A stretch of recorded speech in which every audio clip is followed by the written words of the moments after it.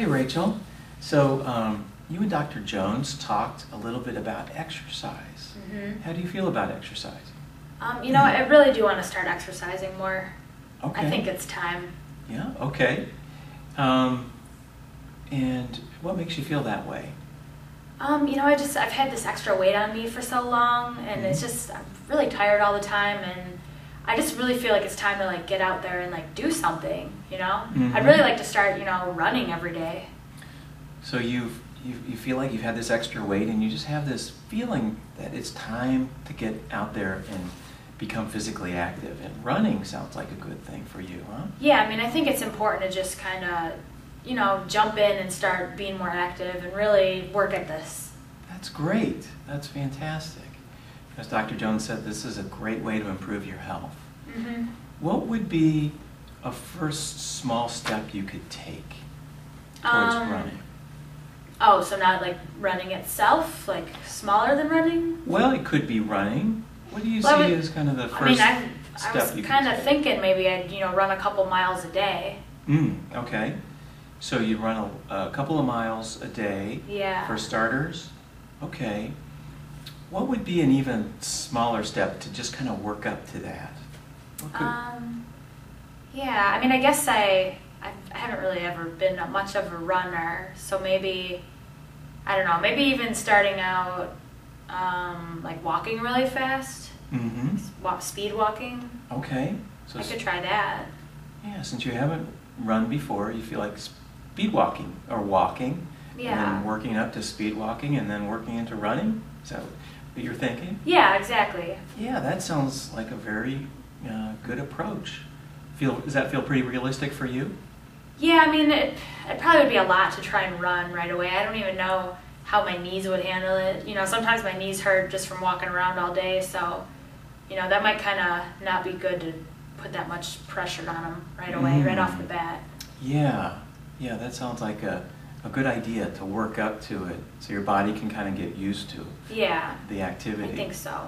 Okay, good. Okay, so when do you think you'd like to start? Um, I mean, probably the sooner the better. Um, maybe the next couple days, Okay. depending Okay. on the weather and stuff like that. Mm-hmm. And when would you do it during the day? Um, hmm. Guess I haven't really thought about that. I'd probably probably want to do it in the mornings. I feel like you know that's when I have more energy. Mm-hmm. Kind of feel like I feel better in the mornings most days. By the end of the night, I'm pretty tired and you know not really feeling like doing much. Probably mornings would be better. Okay, mornings would be better for you.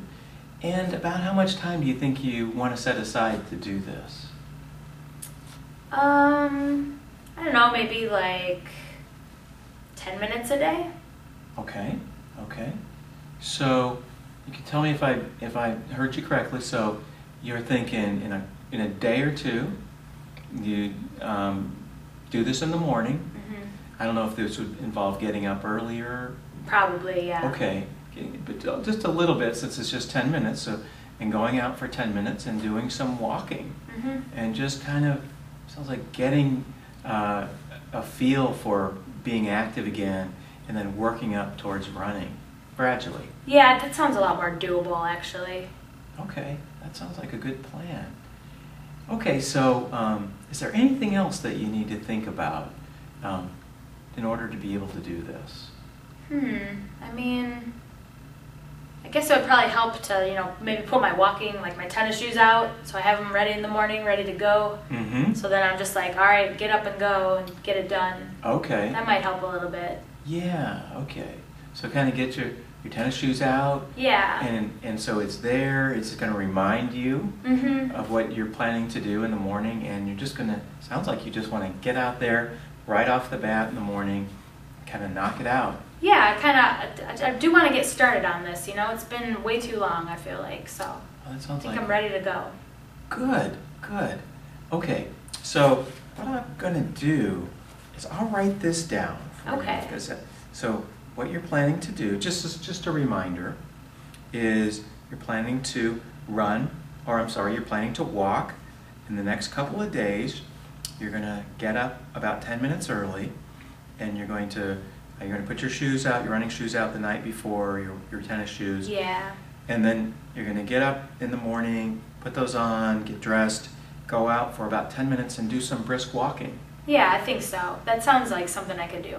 Okay. hmm And then it sounded like uh, you also a little earlier were saying just kind of this would be realistic for you to kind of see how your body feels and responds to being able to do that, and then you might be able to just very slowly and gradually work up to ex- you know to running. Yeah, I, I would like to do that eventually, definitely. Okay.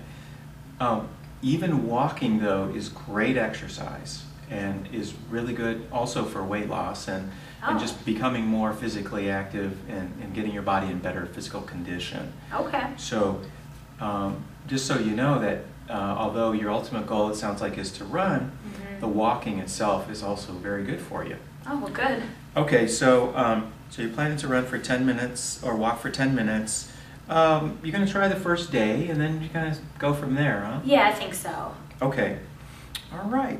Um, how confident do you feel that you are about being able to, to do this? Um, I'm- feel pretty confident. Okay. I'd say I'm confident. So on a scale of, of 0 to 10, where 0 is you're not at all confident and 10 is that you're very confident, where would you, where do you find yourself? Um, probably like a seven. I mean, I, I really want to do this. Okay. I think it sounds like something I could start to at least try to do. Okay. And um, why are you a 7 and say not a 0?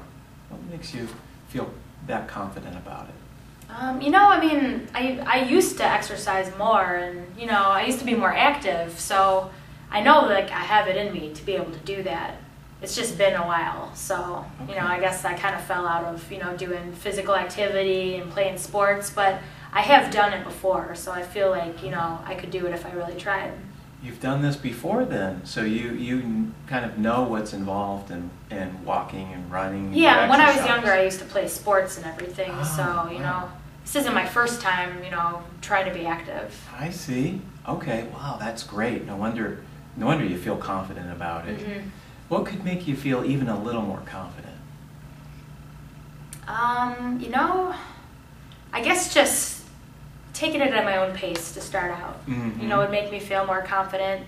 I really want to make sure, you know, my body can handle it because it's been years since I've exercised. So, you know, mostly I'm worried about like my knees hurting or my back. So I guess just taking it slow would make me feel like I can do it. Great, and I, I think that's really a smart approach um, to, to beginning anything, really a new habit, is to just ease into it and kind of get that feedback and, and, and not overdo it to start Mhm. out. So I think that's a very smart way to go. All right. Would it be okay if I gave you a call, say in a week, just to see how you're doing? Yeah, you can call me back in a week. Okay, I'll do that. I look forward to talking with you then. Okay, thank you.